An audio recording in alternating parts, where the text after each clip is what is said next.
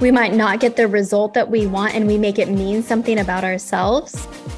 We're going around placing meaning on things that does not have meaning. A Course in Miracles says nothing has meaning until you place meaning upon it. So, what are all the things that you're making mean something in your life that are just stealing your joy in the moment?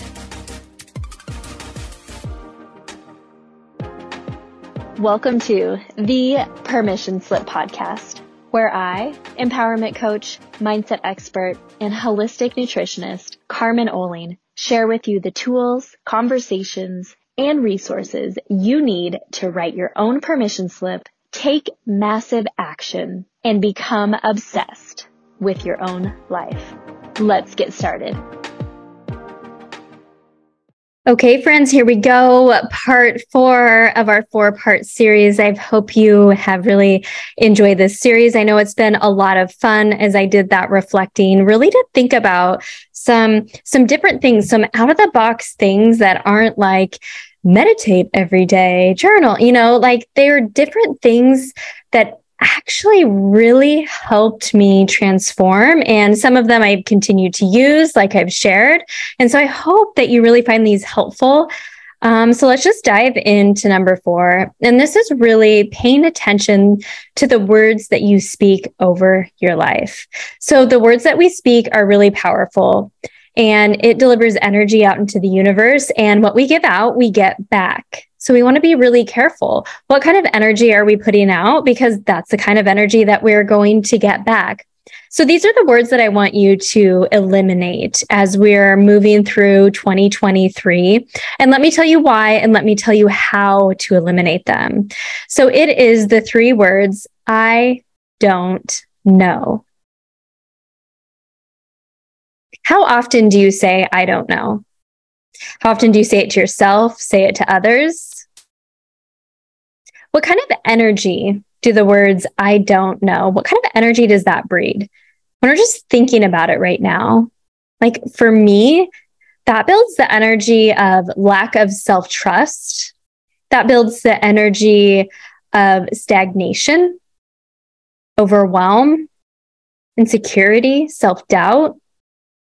I don't know. Now, I'm not saying that you have to know everything because that's something that also can hold us back. Thinking and acting like that we know everything and trying to learn everything really diminishes our gifts when we're not really operating in our zone of genius and doing what is on our heart and what we're being called to do in this world. So I don't know. To me, it also breeds indecision which causes anxiety, overwhelm, and it really erodes our self trust. When we say, I don't know, it feeds imposter syndrome because then we start thinking, well, maybe I should know. And we start trying to figure it out. Or it's also leverage for your ego to begin the judgment and comparison cycle using old stories and conditioning. So you see, I don't know is not as simple as it sounds. And it's not something that I think we should be available for this year. I think we should let go of saying, I don't know. So I thought, well, what are the steps that I've used in my life to let go of saying, I don't know? And the first step, so there's two really simple steps that you're going to be able to implement. And the first step is changing your language. So, what else can you say besides, I don't know? And here, let's just stop BSing ourselves right now. Most of the time, when we say, I don't know, we do know. We're just either one, scared of the answer, or two, we're not trusting ourselves enough and we think we're going to quote unquote get it wrong and that we'll somehow be judged for getting it wrong. But deep inside, we often know. We know the answer. So first there's that. Let's just stop BSing ourselves and say we know the answer. It's just a fear state of judgment or getting it wrong or actually having to fucking do something. Yeah. Or like, what would the other person think? Maybe they're asking you just like a simple question like, what do you want to eat? Where do you want to go? What about this? What do you like? I don't know. What do you want to do? Fuck, I hate that. Don't you hate that when you want someone to really make a decision? Be decisive. Decisive people are experts. Decisive people are aspirational. Decisive people are those people that just really show up and shine, and you look at them and you're like, dang, that person, they've got something. That's what we want to be. Let's claim that now. That 2023, that's what we're going to be. We're going to be fucking decisive. And if we don't know, honestly, let's go ahead and think about using some of this verbiage like, I'm excited to find out. Interesting. I'm excited to find out. Or I'm not really considered that. I'm curious to discover more. Do you see how the energy switches? What if you asked me something? I just said, I don't know, low, stagnant energy, right? And what happens again? The energy you put out, the energy you're going to get back. But if you ask me something else and I say, oh, interesting. I've not been exposed to that. Tell me more. I'm curious to discover. I'm excited to find out. Different. It's different. It's the energy of abundance and belief and curiosity. And that really transforms and fuels growth in your life. Or what if someone asked you, to make a decision. This happens often for many of us. We've talked about decision fatigue on the podcast before, but that's where that you've been making too many decisions throughout the day. And then by the end of the day, or sometimes not even at the end of the day, sometimes it's midday, and you're just like at a point where you can make no more decisions and really if you back it up like the main way to to prevent that is to be proactive and be planful and organized using my brain dump method and plan procrastination all of that. So, um, if you want to know more about that, we talk all about this in Flow Academy, by the way, and I teach you all of these practices. Um, if you want to know more, get on the wait list for April enrollment. It's in the show notes.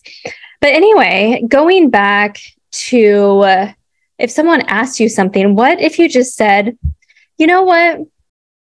I would love for you to make the decision tonight, or I would love for you to make the decision this afternoon. And I just want to go with whatever you decide and see what we can discover together. Something like that.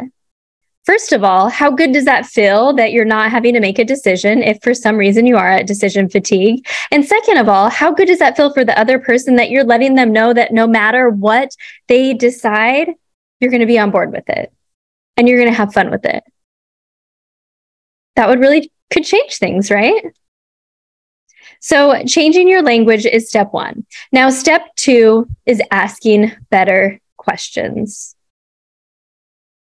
Ask better questions, you get better answers. The bridge to growth and transformation in your life is asking better questions so you can get better answers so that you can take aligned action in this season of your life towards the director, the trajectory that you are meant to go. It's when we don't sit and ask ourselves better questions that we're not being self aware. We're not increasing or raising our level of consciousness. And we're just on the treadmill of life day in and day out, often not even feeling, just going through the motions, not fully present and we wonder why we can't reach our goals. So I wrote a list of 10 questions, and you can just mark this spot on the podcast to come back to this.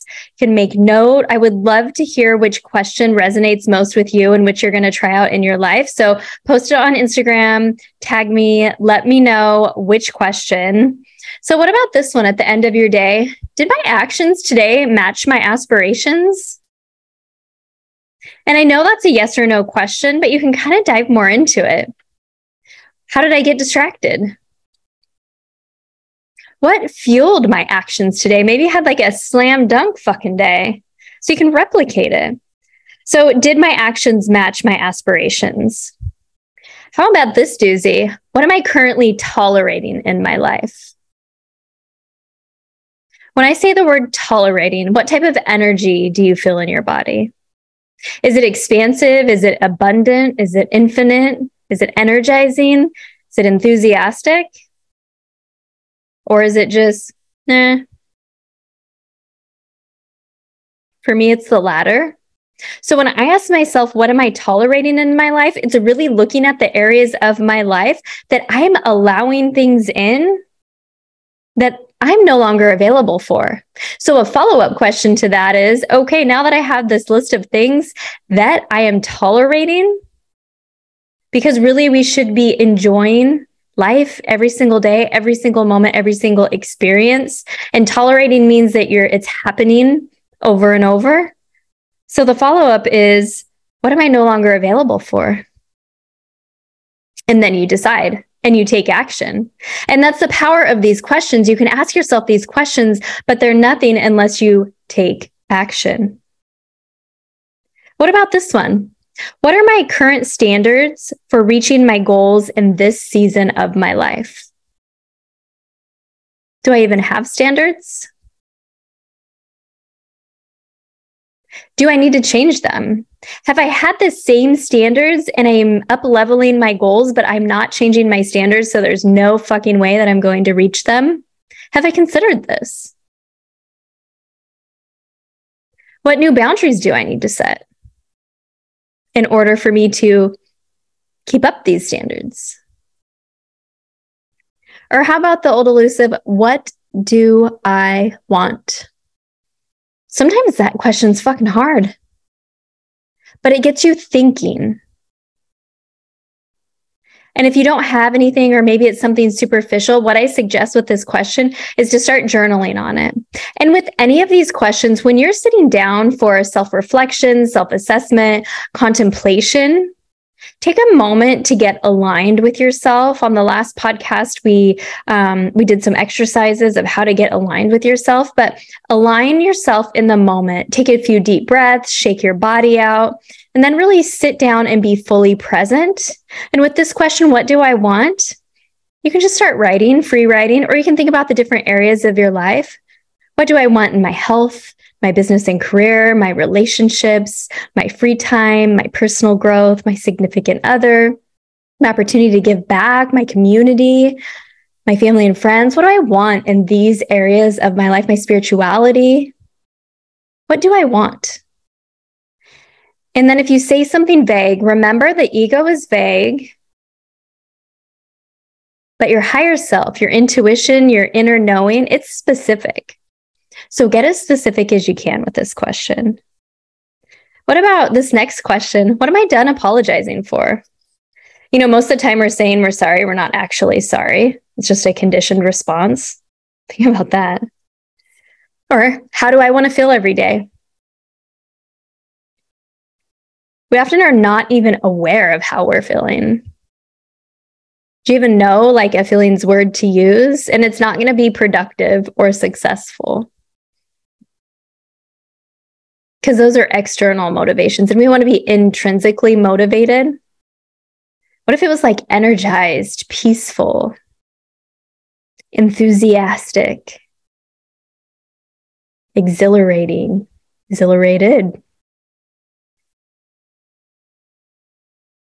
The next question is Over the last week, thinking back, where have I been the happiest? And a follow up to that is how can I replicate that more often in my life?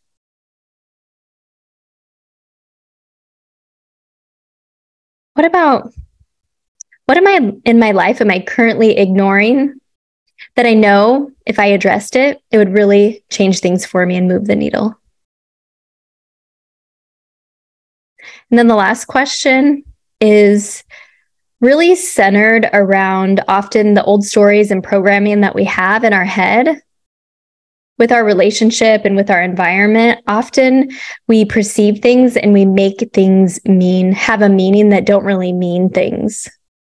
And so the question is what am i making this mean? We might read somebody's body language and make it mean something. Somebody's tone of voice we might not get the result that we want and we make it mean something about ourselves. We're going around placing meaning on things that does not have meaning. A Course in Miracles says nothing has meaning until you place meaning upon it.